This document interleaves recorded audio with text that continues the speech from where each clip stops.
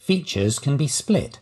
Target features should be selected first, although it is possible to perform a split without a selection. From the Modify Features pane, click on Split. You can change the selection. Note that there are two modes available, Interactive and By Feature. With Interactive, the pane lists information about the selected features. These are identified with a single attribute value for each feature.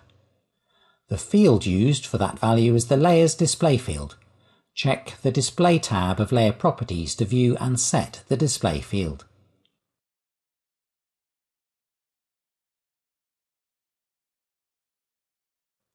Click on a feature in the list to make that feature flash on the map. There are also options when you right-click on the list.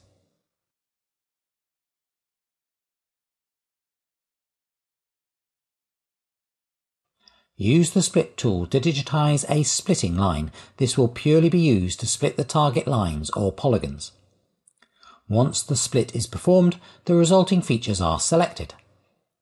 The attributes from the original feature are copied to all resulting features.